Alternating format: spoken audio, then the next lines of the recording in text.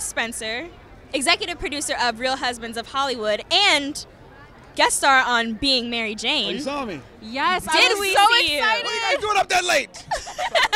It's one of my favorite shows. five to me. Okay, wait, please tell us Uh-huh.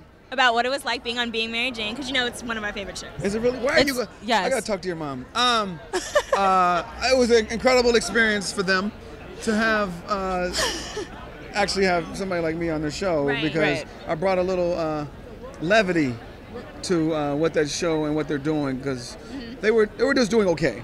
Okay. And then I did the guest star. Now everybody knows about the show because Wow. Chris Spencer uh, did a little something. Right. And hopefully, you know, we'll be doing a spinoff being Chris Spencer uh, pretty soon. Being Chris Spencer. You heard Is it it about an independent black male trying to navigate his way through life? You know, Yes. can he have it all? No, mine's a little different. It's about a guy who has it all and then loses it. Wow. I would watch that. Profound. You see how quick I write? You do you do this for a living? I've done it once or twice. Okay. Okay. We're nominated tonight. How does that feel? It feels good. Uh, Well, it feels kind of like last year because I won last year.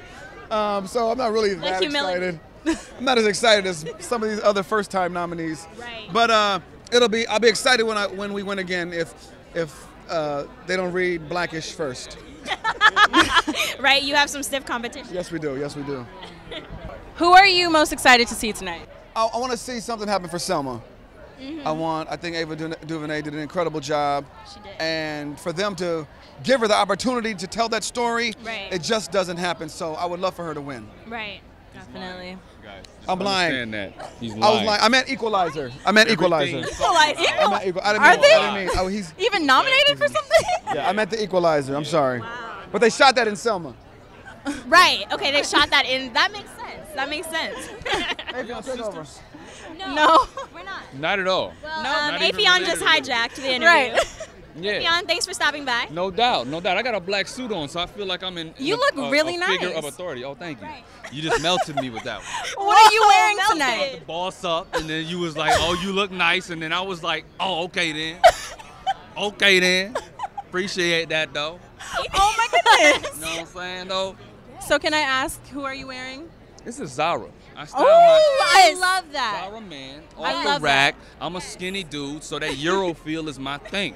You see, I'm talking with my hands right now because it's a Real gangster. Like you you know what I mean? And then I gotta get posh on you real quick. Be like, you know, it's like very, like, you know, very well fitted and all that. I go It's in very there. well fitted. I love. I love the bow tie. Thanks a lot. You know, I go in there and I look on the rack and it's like, hey, this looks like a good fit for me. Yes. So I'm gonna It's a great that. fit. Yes. Thank you. And You're you Don't have to pay a Full of compliments stylist. this one in. I am. Yes. Well, I'm telling you because it's true.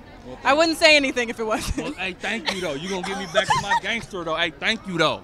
I appreciate that though. You feel me? You're welcome. Feel me though? You're welcome. Affion, tell us who are you most excited to see this evening? Oprah. Yes.